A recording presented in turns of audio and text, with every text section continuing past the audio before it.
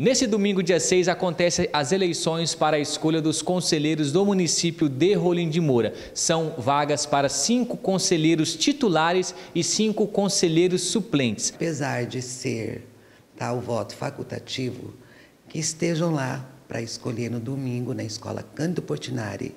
Inicia às 8 horas da manhã, encerra às 17 horas.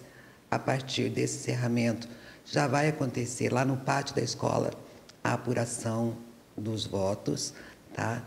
Então, estou convidando todo mundo, leve seu título de eleitor, um documento oficial com foto e apareça na Escola Canto Portinari para escolher esses dez conselheiros. São cinco conselheiros titulares e cinco conselheiros suplentes para assumir a gestão de 2020 a 2024 e, em campo, atuar diretamente com casos de abuso sexual, de violência, de abandono de incapaz.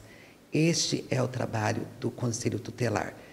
Eles podem acionar o Ministério Público, eles podem trabalhar em conjunto para atender as crianças e adolescentes.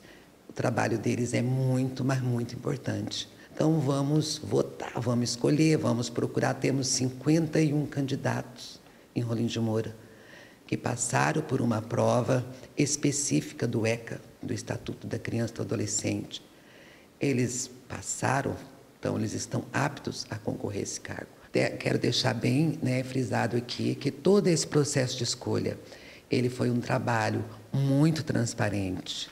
Né? A sociedade acompanhou, nós somos em nove membros da comissão especial, né, que elaboramos todo esse processo com muita parceria com o Ministério Público, que é o que fiscaliza todo esse processo, e a parceria também com o TRE, o Tribunal Regional Eleitoral, que cedeu gratuitamente para o município as 11 urnas, vai dar todo o suporte técnico no dia, tanto o TRE quanto o Ministério Público.